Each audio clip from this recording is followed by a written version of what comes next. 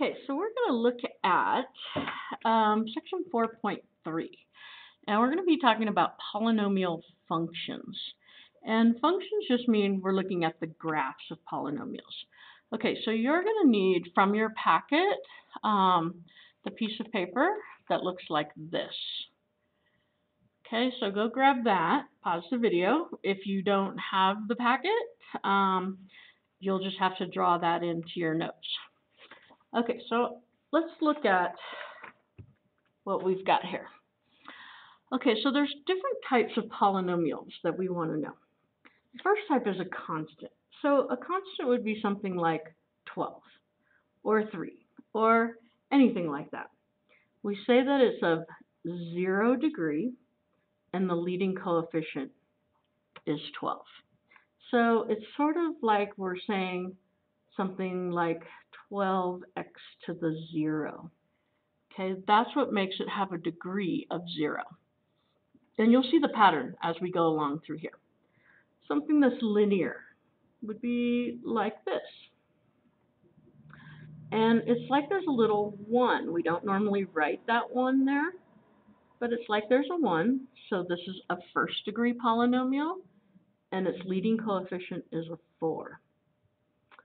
Okay, say something that's quadratic would be something like this. And we would say its degree is 2. Its leading coefficient is a 5. Now, the leading coefficient isn't necessarily the first number. It's the number in front of the term with the highest power. So as long as they're written in standard form, it will always be the first number. But watch out just in case they're not written in standard form. Okay, something that's a cubic would be like 8x cubed plus 12x squared minus 3x plus 1. Again, this is written in standard form. Um, the highest exponent's first, so that's its degree, that's its leading coefficient. And in general, so this is going to look kind of weird but I want you to start getting used to looking at things like this. Eventually in math, we will see a lot of things in these types of form, or this type of form, I should say. And the only way you're going to learn about it is to practice it.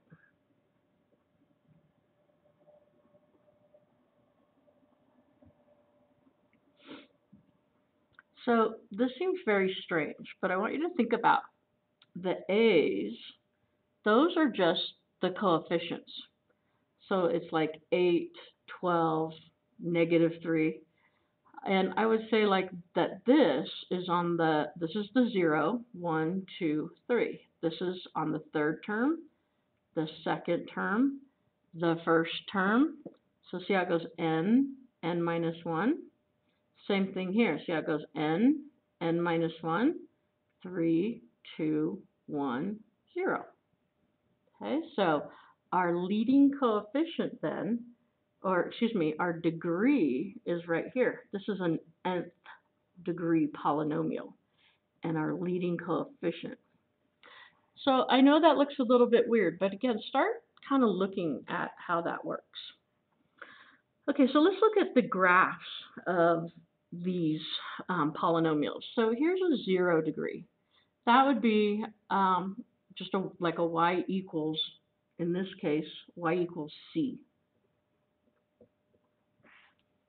Okay, here's a linear function. Here's a quadratic function, degree 2. This is a cubic function.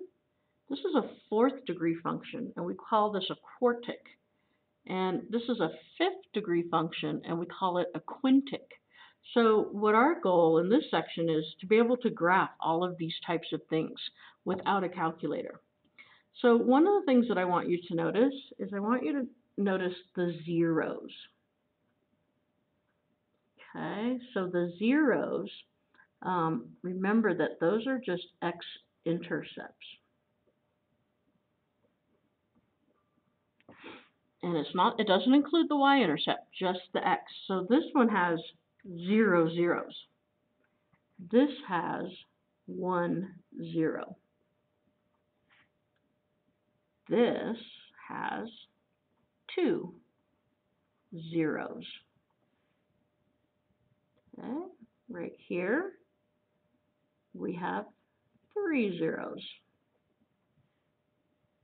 Right here, one, two, three, four. Remember, we don't count the y-axis. This has four zeros. One, two, three, four, five. Okay, now you'll see that every time that we deal with a quadratic, it doesn't always have two zeros, but it can have at most two zeros. And if you think about from Math 2, I could have something that looked like that, that would just have one zero. Um, and I could have something that looked like that, that would have no zeros. So that number, that tells us the maximum number of zeros that it can have. Okay, so we've got here the maximum number of times the graph of a polynomial function may intersect the x-axis, whoops, is same the same as, oops, I already put the, the degree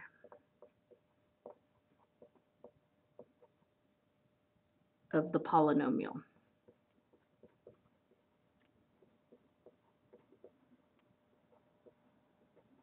So that is an important point to remember. If it's a fifth degree polynomial, it can have at most five zeros. If it's a fourth degree polynomial, it can have at most four. Remember that four zeros, that means four x-intercepts. Okay, so super important that you know this.